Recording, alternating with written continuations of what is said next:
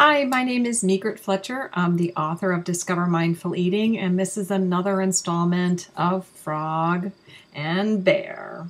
And today we're going to talk about eating healthy. This is a topic that's near and dear to everybody's heart. We all want our kids to eat healthy, but how do you do it? Well, I think Frog and Bear can help us. Now, eating healthy is a complex process. It's not something that you do once and you're done for. And really, Discover Mindful Eating is about creating lifelong habits so our kids are healthy eaters for the rest of their lives, not just while they're living with us. How do we do that? We understand that health is complex. We understand that healthy eating is complex. So we're going to pick little things. We're going to talk about changing and adding health and healthy foods into our diet, and we recognize that that may be different for each family, for each person. This means that frog and bear may visit us many, many, many times to discuss what healthy eating is as you explore and unpack this concept because it's different. Let me give you some examples. For some people, healthy eating might be um, having dinner together. Um, or it might be eating a wide variety of foods. That might be really, really healthy. Um, healthy eating might be choosing foods that are more nourishing to the body, meaning that they have more nutrient density. Um, we also might think about healthy eating as enjoying the foods that we eat. So, focusing less on does it have vitamins and minerals? Do I like the taste? We might also talk about healthy eating as filling but not overfilling our, our stomachs. So, as you can see, frog and bear could talk about a lot of things with healthy eating. In this uh, situation, Bear is the one that's struggling. He's having a hard time eating healthy, and Frog is going to use some good listening skills and some good coaching skills, and he is going to help Frog with this behavior.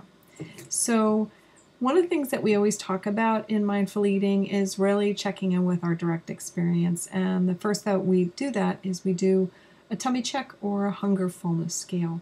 If you're interested in learning more about hunger fullness scales and how to get your kid interested in them, definitely check out that video as well. One of the other offer uh, things that resources that we offer at Discover Mindful Eating is really trying to understand what healthy eating is. So, in this situation, um, our hero, Bear, is going to have a hard time uh, eating healthy, and Frog is going to coach him. So, let's begin.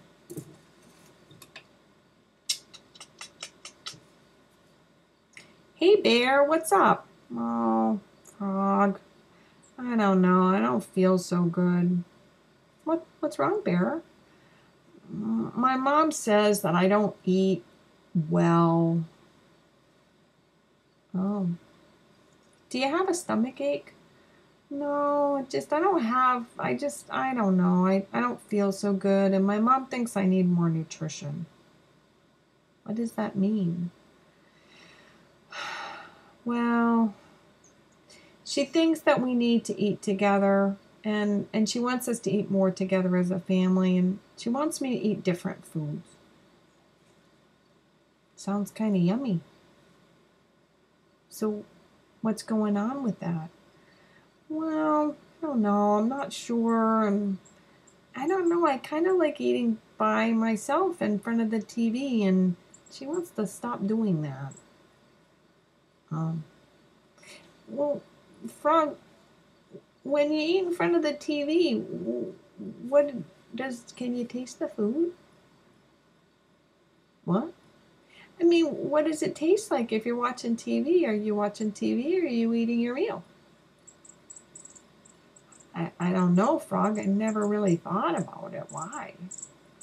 Well, if I'm trying to do other things like swim and chew on my flies and stuff, I, I, I can swim or I can chew on the flies, but I can't seem to swim and chew on my flies. You know, it's kind of like walking and chewing bubble gum. I can't do two things at once. You know what, Frog? I never really thought about that.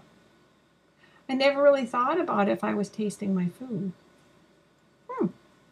Well, you know, I heard that when we sit down together and we talk, we can learn more about my family. Like I found out the other day that Johnny, you know, my brother, the big bullfrog. Anyways, he was in class and he was telling us this really, really funny story about how the kid next to him, well, I'm not going to go into it because I don't want to get anybody in trouble. But, anyways, we all were cracking up. And I have to tell you, my brother told a really good story. Gosh, I wish I was there. See, see, being with your family can be a lot of fun, you know?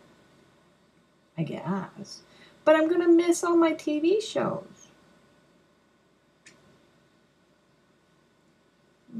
Gonna miss your family too. I, I guess. I, I don't know. You know, Frog, it's just so hard. I mean, it, it I I'm not sure certain. I hear you.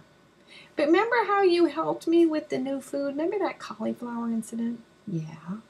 Well, this is just new too. Just try it. See how you like it. You know, you might find it's not so hard. Plus, you might get to learn a couple new jokes. Might like a few new jokes. Alright, I guess I can give it a try. Cool. So tell me how it goes. Did you find that you were feeling better after you ate when you ate with your family and and and you tried new foods and did and didn't and didn't eat with all that other stuff going on? I'll let you know, Frog. Thanks. Bye. Bye.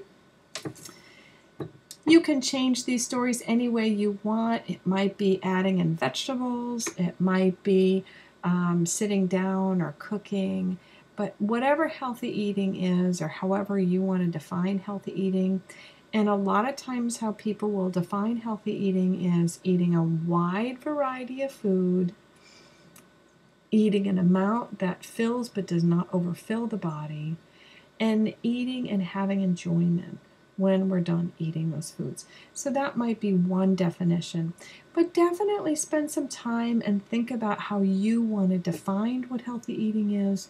And then use your cuddly friends like Bear and Frog to introduce the concept. And again, because eating healthy, because healthy eating is such a big concept, this is something that Frog and Bear may revisit many, many times. Thanks again for tuning in and I hope that you can check out some of the other videos of Frog and Bear